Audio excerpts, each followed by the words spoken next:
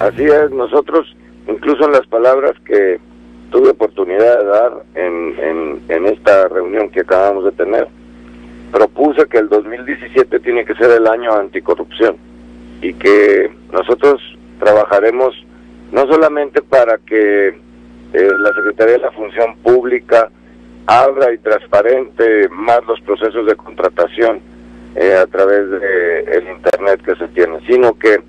demandamos por parte del gobierno acciones concretas que muestren que sí van en el sentido correcto. Demandamos eh, acciones concretas del legislativo para la implementación del Sistema Nacional Anticorrupción y por parte de las empresas nos hemos comprometido a profundizar en eh, los certificados de integridad y ética empresarial y la firma en todos los contratos de la cláusula eh, de ética empresarial, es decir, de no corrupción. Eso lo tenemos que insistir. Pero sí, sí, demandamos ahí públicamente acciones que el gobierno y sus instituciones nos muestren que vamos avanzando en el tema anticorrupción y castigando a quienes lo hayan eh, hecho claramente para que haya procesos justos pero pero lícitos y que atiendan esta demanda de la población. ¿Consideras, Juan Pablo Castañón, que este anuncio, este acuerdo, este compromiso firmado hoy públicamente, prácticamente por todo el Consejo Coordinador Empresarial, me dices autoridades, claro, y representantes del sector laboral, servirá para calmar un poco el dolor, el dolor que ha causado el gasolinazo? La mejor forma para eh, calmarlo es generar ingresos. La mejor forma es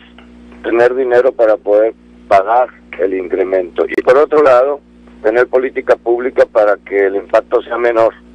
Y en este caso, las acciones eh, acordadas en este en este acuerdo que hicimos van en el sentido de preservar en el transporte público el menor impacto posible, modernizarlo y por el otro lado eh, utilizar las cláusulas de beneficios que el transporte público urbano y de carga ya cuentan, que es que puedan hacer deducible el IEPS, es decir, que no le llegue al gobierno el, impuesto de la gasolina, sino que lo puedan deducir para que no lo transmitan en sus tarifas. Eso, mm, el transporte de carga y el transporte público lo podrán utilizar y así no repercutir en precios de tarifas